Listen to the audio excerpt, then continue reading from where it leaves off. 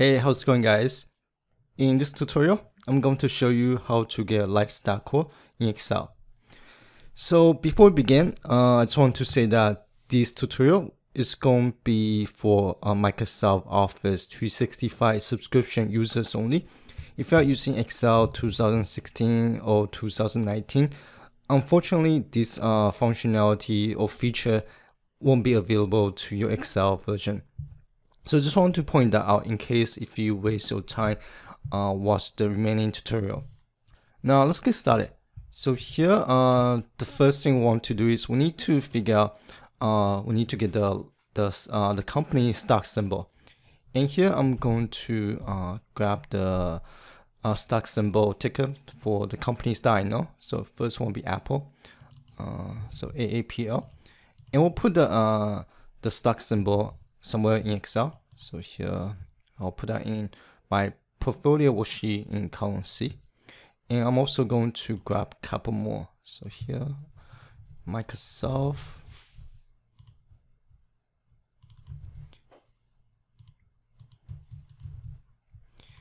And maybe just two more, Facebook and Google. So Facebook should be FB. And here we'll make Google. Okay, now uh, just these four companies for now. And I'm actually going to format this to uh, size 12. And I'll make the font style uh, uniform, so across. Here, what you want to do is you want to select all the stock symbols. Now go to data. And right here, uh, somewhere in the middle, you should see the stocks uh, option. Now click on that. Now Excel is going to convert those uh, tickers or symbols into a value that Excel is going to recognize. Now we can extract the stock information, so that associated to those company. In here, if you um, select any of the cell that contains the, or not contain, that is converted to a value that Excel recognize. In here, uh, on the top right hand corner, you should see the insert data icon and click on that. Now a list of available information uh, items is going to uh, display. So here you can choose uh, what kind of information that you want to insert to your Excel spreadsheet. And here, let's say I want to extract the current stock price. So I should scroll down to the P section. Here I'm going to click on price and that will uh, extract the price for Apple. And here, um, here just a tip. So ideally you want to convert the uh, the list into a table. So that way that uh, that way when you insert a new company or new symbol, and the table is going to the table range is going to expand uh, dynamically. So here I'm going to uh, just create a table. So company, and here I'll name this price, and I'll highlight the table, and I'll go to uh, insert and click on the table. In here, you want to double check, just making sure that uh, the create table dialog is selecting the table.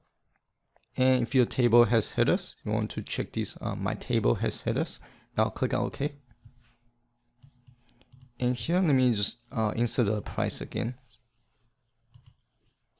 Okay, now that will uh, dynamically insert the price for all the companies. So instead of just uh, for Apple uh, by itself. So here I'm going to delete this column and I'll rename the uh, the column header.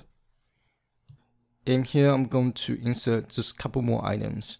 So here I want to uh, insert the today's low price and as well as uh, today's high and maybe just one more. So here we have, uh, let's do, uh, oh, opening price and just this four. Now, next time, if you want to insert a new company, so here I want, let's say, I want to in, uh, add Dropbox to my list in DBX.